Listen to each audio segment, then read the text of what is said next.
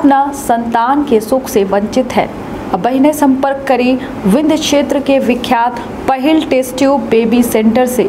महिला से संबंधित कोनो गंभीर समस्या के खातिर संपर्क करी प्रतिदिन। पुराना तीर्थ मेमोरियल अस्पताल कुटेही रीवा। संपर्क कर सके थे आठ आठ दो एक शून्य शून्य शून्य चार एक छः पर या शून्य सात छः छः दो तीन पाँच दो चार पाँच एक पर। डॉक्टर बीना मिश्रा, स्त्री रोग एवं बाचपन विशेषज्ञ से प्रथम आईवीएफ क्लिनिक, आईवीएफ मौच तकनीकी लेजर हैचिंग के उपयोग। खबर मध्य प्रदेश की राजधानी से है। हालाँकि यह खबर अपना पंचन का मिल गई हुई कि मध्य प्रदेश में होने वाला शिवराज कैबिनेट के विस्तार जो है टल गया है। लेकिन यह खबर का हम पूरी लेके आए हैं। पूरी जानकारी दे, कौने वजह से मंत्रिमंडल के विस्तार टला है, कौने योग्यता के आधार पर, कौने कौने विधायकन का मंत्री बनावा जा रहा। हालाँकि, दुई नामन पर सहमति बनी, जोने माँ एक विंध्य के कद्दावर ने तो शामिल है। लेकिन दुई नामन पर जो है सहमति नहीं बन पाई। हालाँकि मान मनोबल के दौर जारी है, लेकिन देखब दिलचस्प हुई कि अब चुनाव महज दो से तीन महीना में बचा है, लेकिन शिवराज के कैबिनेट का विस्तार हो पाई।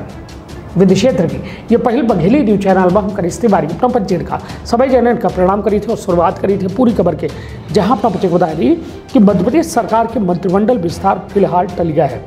सीएम हाउस में बुधवार देर रात भय बैठक में रीवा विधायक राजेंद्र शुक्ला और बालाघाट विधायक जो है, गौरी शंकर बिसेन का मंत्रिमंडल में शामिल करे पर सहमति बन गए बाकी दो विधायक के नाम पर राय नहीं बन सकी। मंत्रिमंडल में लोधी वर्ग के प्रतिनिधि का जगह जो है, दीन जाए चाहिए। दलित या आदिवासी वर्ग से एक मंत्री बने पर जो है, मंथन चल रहा है।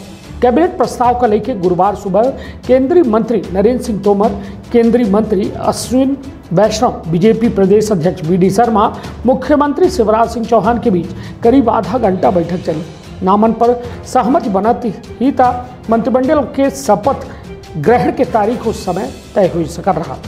अपना बता दी मंत्रिमंडल के विस्तार के अटकलन के बीच बुधवार शाम राजेश शुक्ला भोपाल पहुँचे। राहुल लोधी देर रात समर्थकन के साथ भोपाल पहुँच गए। राहुल लोधी, पूर्व मंत्री उमा भारती के भतीजा हैं। अपना चेक बता दी कि जो जो मंत्रिमंडल के विस्तार में जेकर नाम तय है, उनके बारे में पहले जान लें। राजेश शुक्ला, रीवा सीट से चार बे के विधायक हैं। पहले मध्य प्रदेश सरकार में मंत्री रह चुके हैं। विंध्य अंचल में बीजेपी के बड़ा चेहरा ही। 2003 में पहल बे विधायक बने और लगातार जो है जीतत आए रहे हैं। 2018 के चुनाव में बीजेपी का विंध्य में बड़ी कामयाबी मिली रही। रीवा जिला के सभी आठ सीट बीजेपी के द्वारा जीती गई रही। गौरी शंकर बिसेन के बारे में बताए थे। बालाघाट से सतवीं बार के बीजेपी के जो है विधायक ही, छात्र जीवन से राजनीति में सक्रिय हैं। उन्नीस सौ पचासी, उन्नीस सौ नब्बे, उन्नीस सौ तिरानवे, दो हज़ार तीन में विधायक बने। अपना बच्चे को बता दी। दो हज़ार आठ में तेरहवीं विधानसभा के सदस्य बने। लोक स्वास्थ्य यांत्रिकी सहकारिता मंत्री रहे। 2013 में चौदहवीं विधानसभा में किसान कल्याण तथा कृषि विकास विभाग के मंत्री बनाएँगे। विधानसभा के कईक समिति के सदस्य और सभापति रह चुके हैं। उन्नीस सौ अंठानवे, दो में लोकसभा के सदस्य चुने गए 25 दिसंबर 2000 से भाजपा किसान मोर्चा के प्रदेश अध्यक्ष हैं। भाजपा अल्पसंख्यक मोर्चा एवं सहकारिता प्रकोष्ठ के प्रदेश प्रभारी रहे हैं। मध्य प्रदेश भाजपा के तीन बे उपाध्यक्ष रहे हैं। और अन्य जो नामन पर चल जो चर्चा चल रही और जे के नामन पर मंथन चला रहा, उन्हों के बारे में जान ली। जोने माँ, एक जने हैं लाल सिंह आर्य।